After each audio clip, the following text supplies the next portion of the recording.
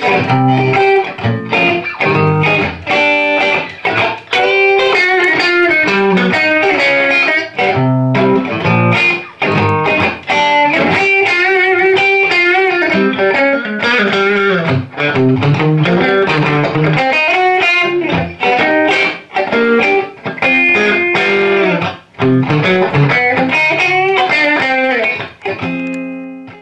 Projecteers, welcome to D-Lab. I've got another concept amplifier idea for you guys that like to experiment around.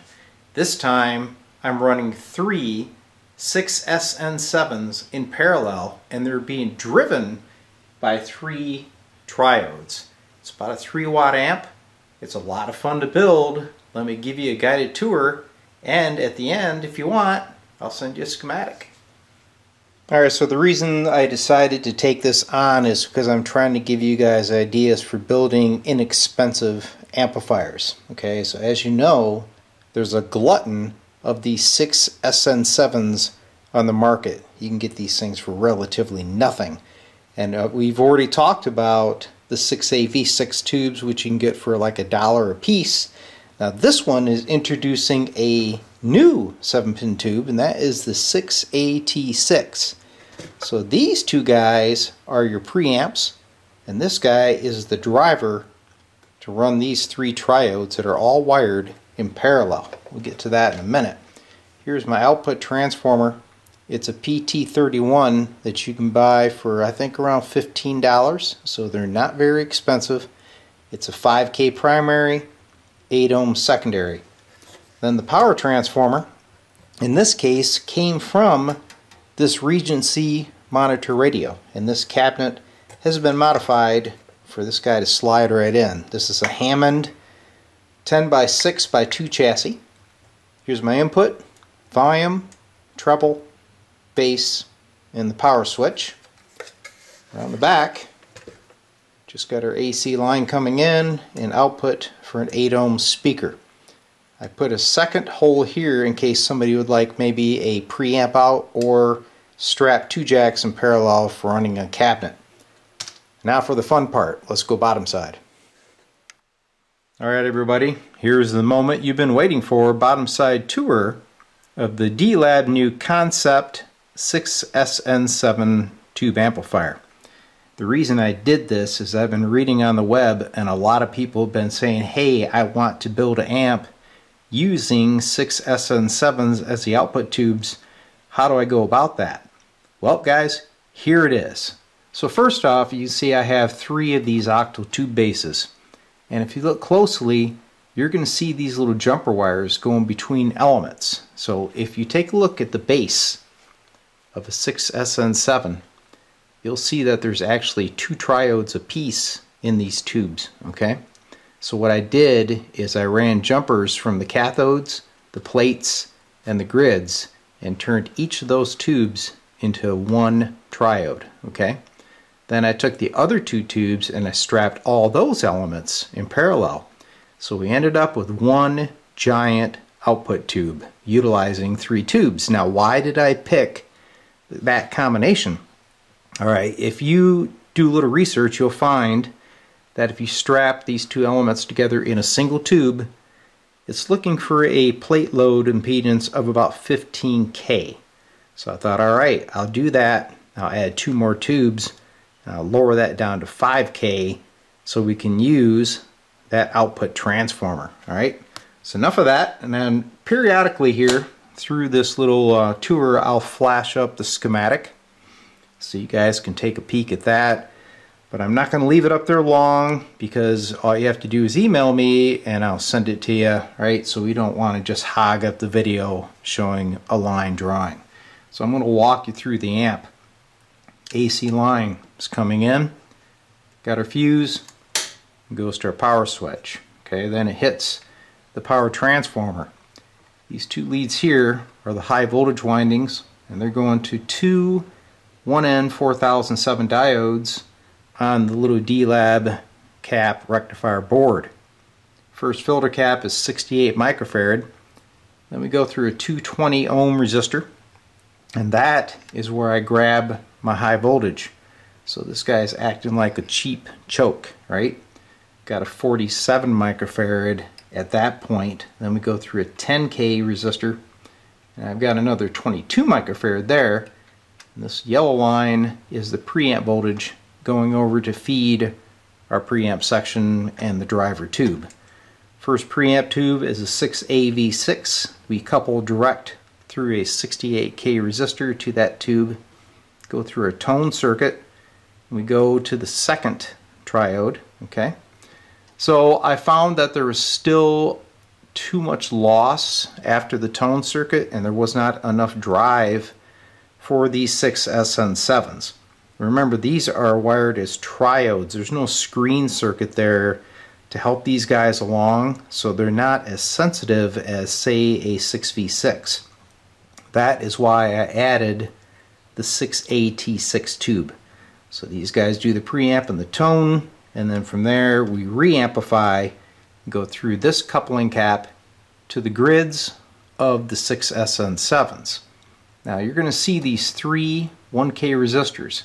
Okay, so the cap comes in and then we go to the each of the tubes grids through the 1Ks, okay?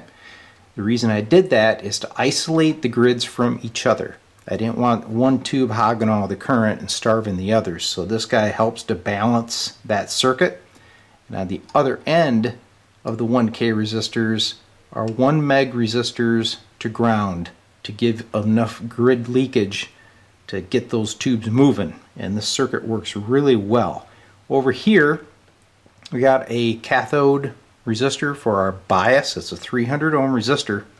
There's only one and he is strapped to all the cathodes with a bypass cap here. This is a 100 microfarad 50 volt cap. There's my speaker output. That's pretty much a guided tour of the bottom side. If you guys have any questions, email me. Now if you look at the schematic you'll see that I did not show the wiring of all three of these tubes. I simply referenced it as 6SN7 times 3. Okay? So that's why you want to take a close look at how I did this. So when you get ready to wire yours up, just follow the map, guys. So it's pretty basic. You could actually build the same circuit using one output tube, say a 6V6. But then you're back up to the cost of, say, a $22 tube, whereas the 6SN7s are probably 50 cents a piece and these preamp tubes might be a buck. So once again, guys, we've created an amplifier where the tube cost is under $5. How cool is that? Alright, so I had Tony over here a little bit ago to shake this amp down. Of course, he was very skeptical when I told him what I came up with, but he understands why I did it, okay? When Tony played the amp, I had three 6AV6 tubes and there was too much gain, okay? So you'll hear that in the video. After he left, I looked it over and said, ah, why don't I just put in a 6AT6 for the driver, right? It's a medium mu tube, so it's going to give me a little bit more current, but not excessive gain. So that's what the amp has right now. Okay, so if you take a listen, trying to get this down.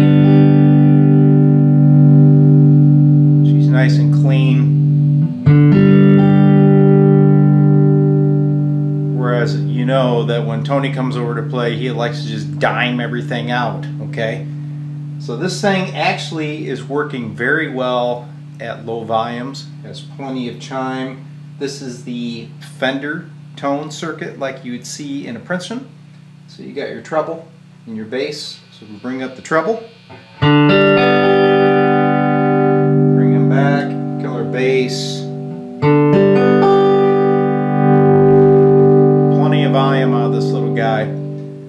Guys would like to build this circuit, I think you'll be really happy. It is a little bit more labor intensive because you have to do your little design of your triode outputs. I thought this was kind of cool.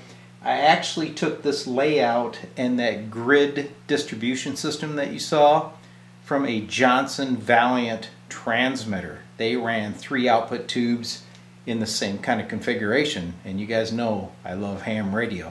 All right, let's go to the demo with Tony. Hope you guys enjoyed it. I sure did.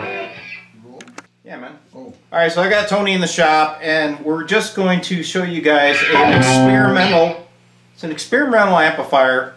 It's running three 6SN7 tubes, all in parallel. So there's actually six triodes connected together, and we're running it with three triodes, which is a set of six AV6 tubes. So this is just an experiment. I'm not saying this is the best amp in the world, but it has a unique sound. It's got some traits that Tony kind of likes. So.